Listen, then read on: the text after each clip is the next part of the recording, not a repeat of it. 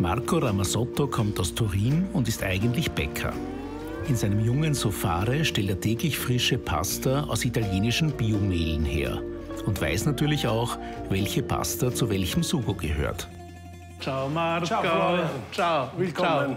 Ciao. Sofare, eine der italienischsten Pasta-Produktionen in Wien. Yeah. What are we doing here?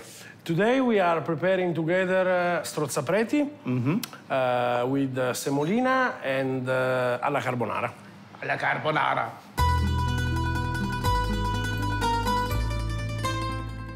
Ah, okay. Das heißt, ihr habt zwei verschiedene Sorten von Mehl. We use two different kind uh, of semola, semola and uh, semola rimacinata. This is milled uh, just one time, and so the texture is bigger. And this is rimacinata, that means More milled. Yes, uh, with, with a, um, a smaller texture. Also, our secret, that is not a secret, is that uh, usually we put uh, uh, a little bit of salt inside uh, of the dough. The salt give uh, a better uh, texture to the dough. The problem usually of uh, fresh pasta is that uh, it's not so easy to make al dente, Yeah, like yeah, dry pasta. yeah. You can put all together, then Okay. we will mix a little bit. so difficult, but you have done a good job. then we let work the machine for uh, 10 minutes, Okay. and then we check the dough because uh, many field of uh, wheat make many different kind of flour. Now it's perfect.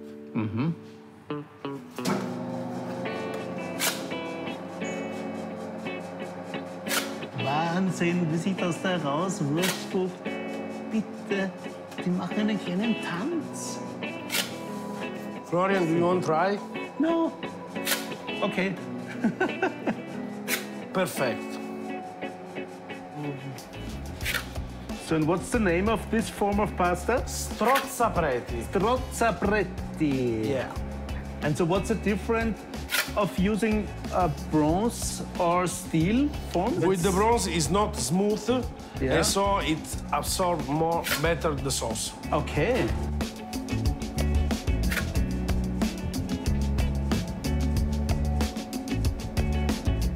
So if we want to make um, carbonara, guanciale is, Guanciale. is essential. It's the cheek of the pork, and it's very important to cut uh, uh, the guanciale in the right way. What you have to obtain is uh, um, a slice of guanciale, crispy outside and juicy inside. Okay, okay. It's very easy, seven, eight millimeter, Okay. perfect.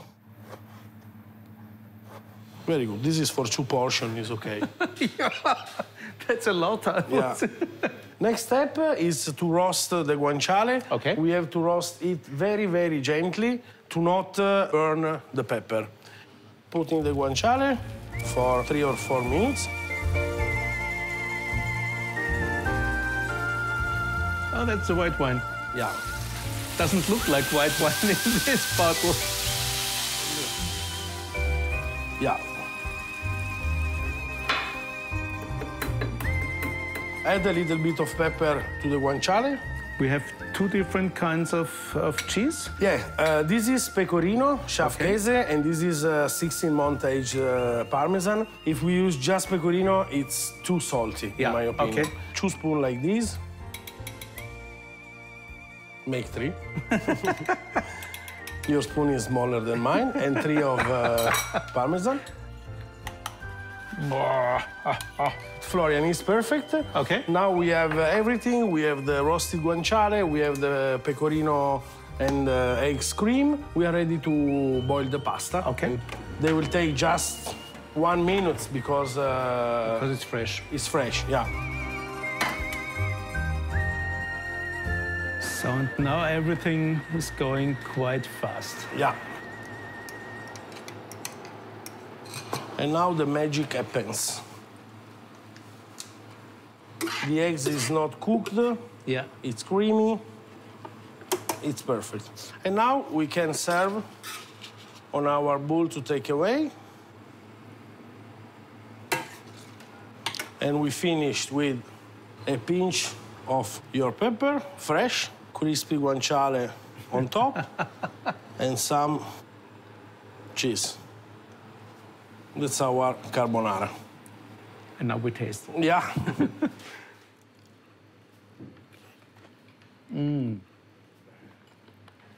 Crispy, rich, delicious. Thank you. But it's totally different um, than carbonara is served in Austria normally. It's the original one.